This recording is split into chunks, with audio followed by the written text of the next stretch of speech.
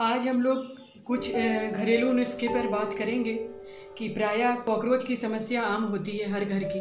तो आज कुछ दवाई कॉकरोच के लिए हम बनाने जा रहे हैं, जिसमें मैंने ये 100 डेढ़ सौ ग्राम के करीब ये कॉकरोच बोरिक पाउडर लिया है और थोड़ा सा दूध लेना है आपको। ये चीनी पाउडर है, इसे आपको मिक्सी में पीस लेना है और इसमें मिक्स करके अभी हम बनाएँगे। तो चलिए बनाना शुरू करते हैं। मैंने 50 ग्राम के करीब चीनी को मिक्सी में पीस लिया है।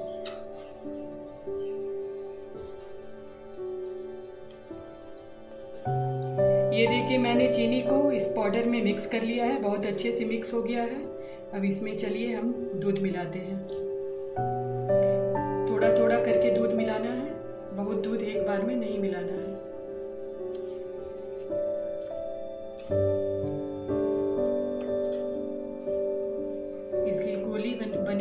छोटी छोटी सी गोली बनेगी।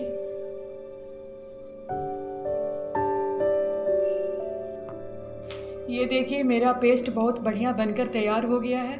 अब हम इसकी छोटी छोटी गोली बनाएँगे। इसमें इस दूध की मात्रा आप अपने पाउडर के हिसाब से कम और ज़्यादा कर सकते हैं। मैंने बोरिक एसिड इस कंपनी का लिया है। ये देखिए।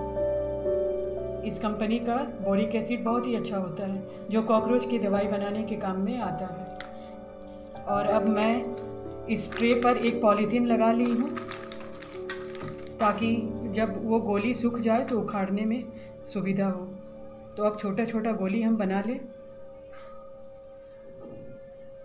और आपको धूप में इसे सुखाना है। जब तक कड़ा ना हो जाए, तब तक अंदर ना लाएँ और जब सूख जाए तो अपने घरों में जगह जगह पे, जहाँ आपको लगता है कि कॉकरोच आते हैं तो आप उसे वहाँ रख दें। ये देखिए, मैंने इतना गोली बना लिया है। गोली बनाने समय आप अपने हाथ में पानी लगा लें और इस तरह से गोली आप बना लें। मेरी सारी गोलियाँ तैयार है। अब इसे धूप में सुखाना है और उसके बाद ये दवा घर में रखने के लिए तैयार हो जाएगा। मेरा इसे तब तक धूप में रखें जब तक ये गोली सूख कर कड़ा ना हो जाए। आप ऐसे छू करके देख लें।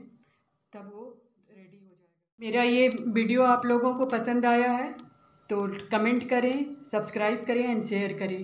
धन्यवाद।